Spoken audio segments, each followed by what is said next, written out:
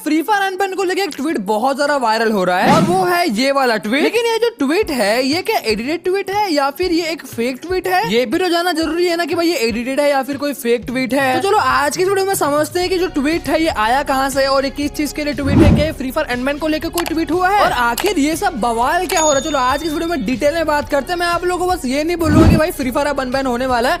हम पहले इस चीज़ की जड़ तक जाएँगे, फिर आखिर में कंक्लूजन निकालेंगे फिर अपने आप कंक्लूजन निकल जाए कि भाई आखिर ट्वीट है ये है किस चीज़ का? पहले बात करते हैं इस ट्वीट की। इस ट्वीट में लिखा क्या है और इस ट्वीट में जो फ़ोटो है ये किन किन की तो है? पहले मेन सदस्य की बात करते हैं। यहाँ पे हम देख सकते हैं यूपी के सीएम की। योगी आदित्यनाथ जी यहाँ पे नज़र आ रहे हैं। और इस फ़ोटो में अच्छे से देखो तो यहाँ पे आप लोगों को कुछ लोग सिंगापुर वाले नज़र आएँगे। मतलब यार फॉरनर लोगों को देख के समझ आता है। इन लोगों को मुझे देख के लग रहा है भाई कोई चाइनीज़ टाइप है। लेकिन सिंगापुर के जो लोग होते हैं ना वो भी चाइनीज़ टाइप थोड़े थोड़े दिखते हैं। बट यहाँ पे मैं ढूंढ रहा था गरीना फ्री फायर के ओनर को। फॉरेस्टली जो की यहाँ पे हमको नज़र नहीं आया तो मुझे कहीं ना कहीं ऐसा लगा की शायद ये कोई फेक हो सकता है फिर कोई दूसरी कंपनी होगी। लेकिन जब मैंने इस वीडियो को देखा तो मैं खुश शौक हो गया। नहीं भाई ये गरीना फ्री फायर की ही है। स्पोर्ट्स का आगाज़ हो रहा है और प्रदेश में ई स्पोर्ट्स का न केवल सेंटर बनेंगे बल्कि ई स्पोर्ट्स के टूर्नामेंट कराए जाएँगे। इसके लिए आज सिंगापुर की कंपनी कैरीना है उसके साथ आज प्रदेश सरकार का अनुबंध हुआ है। ये Garena company Yotta data centers के साथ जो कि ग्रेटर नोएडा में ऑलरेडी उन्होंने अपना डेटा सेंटर बना लिया है स्थापित कर लिया है।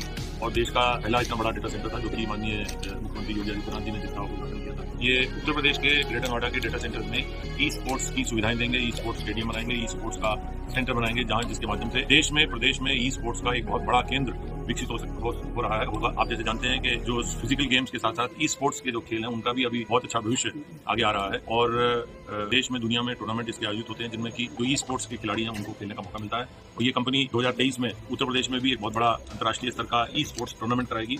और योटो डाटा सेंटर जो जो हीरानंदानी ग्रुप का ग्रेटर नोएडा में चल रहा है उनके साथ मिलकर वहाँ पर ई डाटा सेंटर सुना इन्होंने क्या कहा? इंडिया की एक कंपनी गरीना के साथ कोलैब करने वाली है ई स्पोर्ट्स को इंडिया में बढ़ावा देने के लिए। और उस कंपनी का नाम है योटो डाटा सेंटर तो पहले तो मैं आपको दो चीज़ क्लियर करना चाहता हूँ। इंडिया में अभी फ्री फायर बैन नहीं है। बैन कैसे यार? हम तो फ्री फायर खेल सकते हैं ना। बस प्रॉब्लम ये है की इंडिया में ई स्पोर्ट्स बैन है। आप लोग मानो या ना मानो ई स्पोर्ट्स सबसे बड़ी चीज़ होती है। उत्तर प्रदेश इंडिया से बाहर तो है नहीं। तो अगर उत्तर प्रदेश में गरीना फ्री फायर के ई स्पोर्ट्स को बढ़ावा दिया जा सकता है और बड़ा किया जा सकता है तो मीन ऑल ओवर इंडिया ये सब चीज़ होने वाला है। मैं आपको एक और चीज़ कहना चाहूँगा इस पूरे ट्वीट में या फिर इस पूरे इंटरव्यू में ये नहीं कहा गया है कि ग्रेना फ्री फायर को अनबैन किया जाएगा। तो उसका मतलब क्या ये है कि ग्रेना फ्री फायर को अनबैन नहीं किया जाएगा बस ई स्पोर्ट्स चलेगा?